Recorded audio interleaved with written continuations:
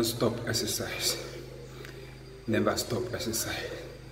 If you don't want to fall sick, if you don't want to be weak in body, don't stop doing exercise. Keep doing exercise each and every day, at least four times a week.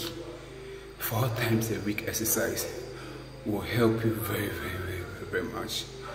Every day, morning, do like 10 minutes exercise before taking your bath. Every evening, do like 10 minutes exercise before taking your bath. And you will see, you will see the improvement in your body. You know, exercise don't only give strength.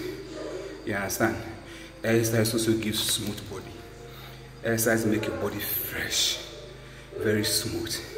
Exercise makes you handsome. Exercise makes you beautiful. Because the more you sweat, okay, the more all the dirt in your body it comes out, okay.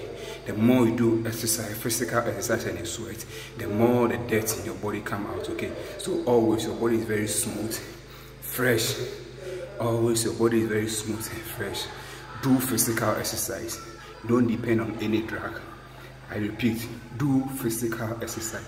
At least 10 minutes. 10 minutes exercise is better than drug that you take or any medicine. Do exercise. Thank you.